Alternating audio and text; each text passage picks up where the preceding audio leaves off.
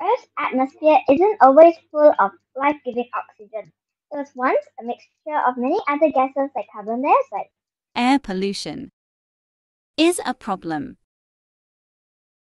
Here is why. Now, in the present, we have tons of carbon dioxide being released and produced every day.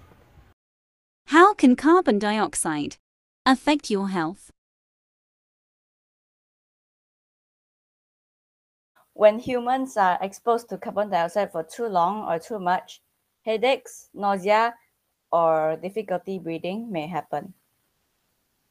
Carbon dioxide is considered a little toxic by inhalation.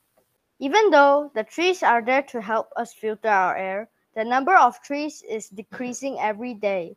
Deforestation happens daily, and we don't have much time to wait for new trees to grow.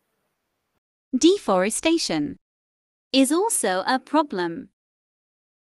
So we made a solution. We present to you our making Vioxy plant. The Vioxy plant sucks in the air around the tree and brings it to the trunk. Inside the trunk, there are ultraviolet lights.